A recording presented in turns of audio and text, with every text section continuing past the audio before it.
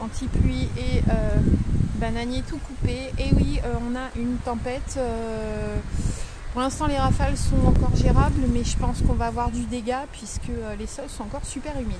Alors, une vidéo qui va peut-être pas forcément être hyper longue, mais je la fais à la demande de mon en devenir les variétés d'agrumes. Alors, on va commencer euh, par les plus gros, ceux qui ont chez moi entre 8 et 9 ans. Et euh, ben, un petit intrus qui est resté là parce que j'ai oublié de le rentrer. Et euh, celui-là, c'est celui que tous les agrumistes devraient avoir, le Flying Dragon, le Conciliurus Flying Dragon. Alors, pourquoi il faut le posséder? Pour son port tortueux. Alors, en effet, il a tendance à magnifier les agrumes, ce qui vous permet donc une culture en liquide. Ici, un oranger. Alors, comme vous pouvez là, le voir là, et à d'autres endroits de l'arbre, il fructifie. Euh, il a passé les deux derniers hivers juste en serre maraîchère ouverte des deux côtés aux quatre vents. Euh, j'ai pas eu de défoliation euh, plus que ça cet hiver, donc la défoliation, il ne faut pas oublier quand même que les agrumes euh, sont de faux caducs, donc euh, la défoliation est normale en hiver, une petite perte de feuilles est tout à fait normale, mais euh, voilà, il faut que ce soit sans excédent. Euh, je pense que maintenant, celui-ci tient jusqu'à moins 10, moins 12 degrés sans aucun problème. Alors pour vous montrer comment je traite mes agrumes, on avait taillé l'an dernier les marronniers et du coup on a récupéré donc le broyat de marronnier. Euh, sur ceux du fond, vous verrez que par-dessus ce broyat, j'ai rajouté de la paille. En fait, j'empile les couches. Au printemps, je gratterai 10 cm du sol, ça s'appelle le surfaçage, pour remettre de la terre fraîche et du terreau et un petit peu de compost. Ici, alors ça c'est mon citronnier préféré. Alors pour le coup, lui, il a un peu morflé cet été puisque euh, bah, malheureusement, euh, j'avais confié mon jardin à des gens qui n'ont pas arrosé super et du coup, bah, il a perdu beaucoup de feuilles. Va s'en remettre, il n'y a rien eu de grave, mais euh, il n'aurait pas fallu que je rentre quelques euh, jours plus tard. Donc du coup, le voilà. Donc ici, on est en citrus lunari, un bon gros citron jaune. Donc par contre, il a des formes un peu bizarres cette année, voilà. Il ressemble à un gros cornichon. Normalement, à la base, il ressemble plus à un vrai, un vrai citron. Voilà, je sais pas si vous voyez le gros derrière. Donc, voilà, c'est un petit peu bizarre. Je pense que c'est euh, du fait de la sécheresse. Ici, un lime du Mexique. Alors, euh, il est absolument plein de citron. Donc ça, c'est du petit citron vert euh, qui est bon pour les mojitos, pour mettre dans la bière et pourquoi pas cuisiner ou même faire des limonades. Comment dire, celui-là, j'y fais rien. Voilà, juste rien. Même traitement que les autres, du broyat, de la paille, un petit peu de compost, euh, des coquilles d'œufs, ce que je trouve pour engraisser un petit peu euh, et pour les nourrir. Et du coup, euh, bah, il me le rend bien. Niveau résistance, pareil que les deux autres totaux derrière, c'est-à-dire moins 8, moins 10 à l'aise avec zéro protection et zéro défoliation. Voilà, après je vous montrerai mes crash tests, mais comme je dois faire plusieurs vidéos parce que j'ai beaucoup d'agrumes, on va procéder par. Donc ici on était sur un lime du Mexique. Là, euh, un petit euh, clémentinier. Alors euh, bah, du coup le petit coco, style, je l'ai un petit peu mal géré. Il m'a fait une grosse grosse floraison l'an dernier, j'ai eu plein de fruits et j'ai fait une erreur, c'est-à-dire qu'on les a consommés sur la longueur et je ne les ai pas retirés comme je fais tous les ans, ce qui me permet de booster la floraison. Et du coup cette année je crois que je dois avoir trois mandarines, trois clémentines sur l'arbre, donc un peu loupé sur ce coup-là. Ici, alors je sais pas si vous voyez, on est sur une lime de Tahiti. Euh, pareil, petit citron vert, morito, bière, euh, citronnade, c'est le top. Euh, J'y fais pas grand chose non plus. Ça pousse du feu de Dieu, donc je bouture énormément. Il répond bien au bouturage. Euh, je referai une vidéo d'ailleurs sur le bouturage. Il répond vraiment bien en deux mois. Vous avez un nouveau citronnier, donc c'est quand même assez facile à faire. Ici, je tiens à vous montrer sur celui-ci, c'est la taille de son tronc.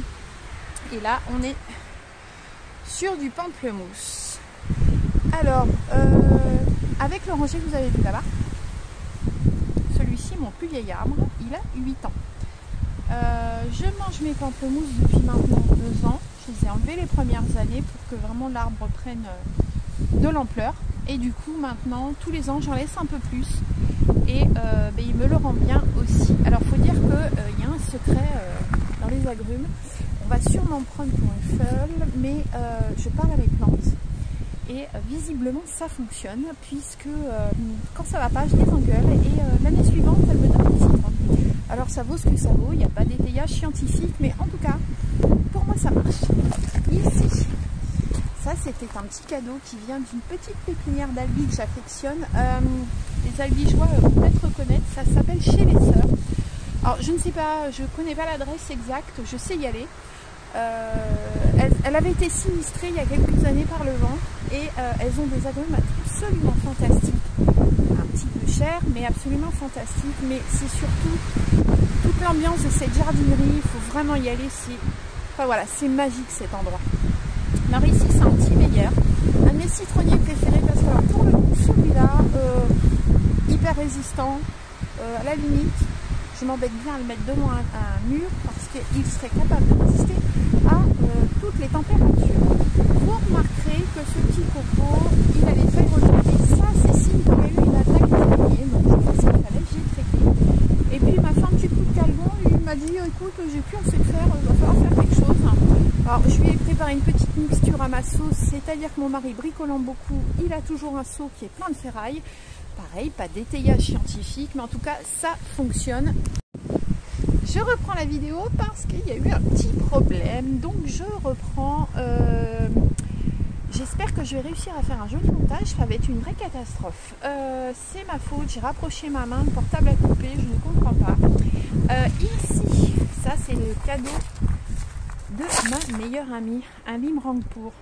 Alors pour celui-là, ce qui a été compliqué ici, c'est pas euh, le froid. Bizarrement, ça a été l'altitude. Euh, sachant que mon ami vient de Charente et arrivé ici, il a mis un an à me faire ne serait-ce que deux feuilles. Alors j'ai pas compris et puis après je l'ai observé longuement et j'en ai déduit que ça venait de l'altitude. Alors maintenant, non seulement il me fait des feuilles, mais en plus il me fait des fleurs.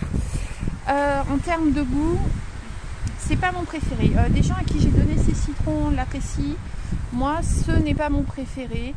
Euh, pareil, bouturage super facile, donc je le garde parce qu'il me le rend bien aussi. Ici, on a les agrumes de chez Citrus and Life. alors, super contente de la croissance. Par contre, on a zéro fruit. Euh, alors derrière vous apercevez ma moitié, alors je ne peux pas le discuter parce qu'il est en train de nettoyer euh, le spa, donc euh, voilà. là on a zéro fruit, alors je ne sais pas de quoi ça vient parce que parce qu'il m'a fait quasiment pas de fleurs non plus. Donc on n'en est qu'à leur même pas le deuxième hiver. Ils, entament leur premier vrai hiver ici. Euh, donc du coup, on va voir au printemps prochain. On ne peut pas juger pour maman. Alors celui qui, cette année, est tout à fait formidable. Un agrume à 5 euros trouvé sur un marché en Espagne. Je vous le montre. Vous allez le reconnaître. Et oui, il s'agit euh, de votre agrume préféré puisque je l'ai vu en story, le fameux main de Bouddha. Euh, bah écoutez, c'est un cédra, voilà. On n'en fait pas grand chose à part bah, des choses confites ou des petites sucreries. Donc euh, voilà, moi je n'y ai pas goût particulièrement. Ici, il est en train de me faire une super floraison. Et d'ailleurs, une de mes abonnées sur Instagram va le reconnaître. Merci Alison Lev. C'est le kumquat que tu m'as ramené puisque tu avais peur de ne pas pouvoir le garder chez toi. Donc il est en trop bonne main. Euh, si jamais euh, je récolte les kumquats de cet arbre, tu seras la première à les goûter.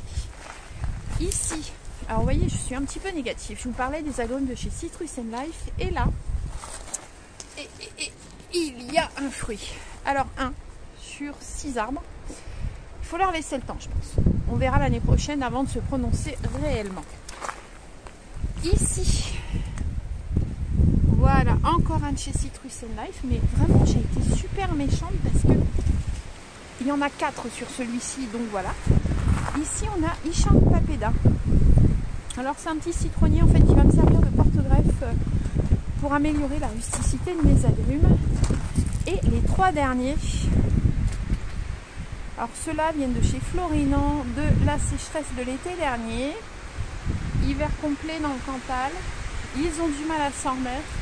Vous noterez qu'ici, il va falloir que je fasse une méga taille parce que non seulement il y a des morts, mais en plus, il est en train de se défolier de l'intérieur. Pour le reste, sont pas malades, ils reprennent tout doucement leur rythme, je ne refais pas la même bêtise. Voilà, alors, comme vous pouvez voir, et c'est tout à fait sans trucage, ils sont là. Donc je vous disais, la paille sur ceux-là, je vais continuer tout à l'heure. Et ici, donc les euh, pour l'instant, il n'y aura pas de bloc d'hivernage jusqu'à mon avis aux premières vraies gelées, c'est-à-dire du au moins moins 5. Je vais vous amener voir des crash tests. Alors le crash test c'est quoi? Le crash test c'est des agrumes qui ont passé le fameux hiver de 2012 dehors. Alors celui-ci est un semi. Alors je ne sais pas trop ce qu'il va me donner parce que finalement il pousse, toujours pas de fleurs et ça va lui faire sa septième année. Mais il est assez vigoureux et euh, du coup je vais greffer des choses dessus. Et enfin, mon dernier crash test, Monsieur l'Oranger. Euh, il a mis du temps à s'en mettre. Alors, euh, vous remarquerez que ma moitié est en train de ramasser des feuilles de bananier derrière, puisque bah, je vais vous montrer les dégâts du jour. Ça me brise le cœur, mais c'est comme ça, l'hiver arrive. Et voilà. Donc c'est ma moitié qui a décidé de sauver ses bananiers préférés euh, afin d'éviter qu'ils ne cassent.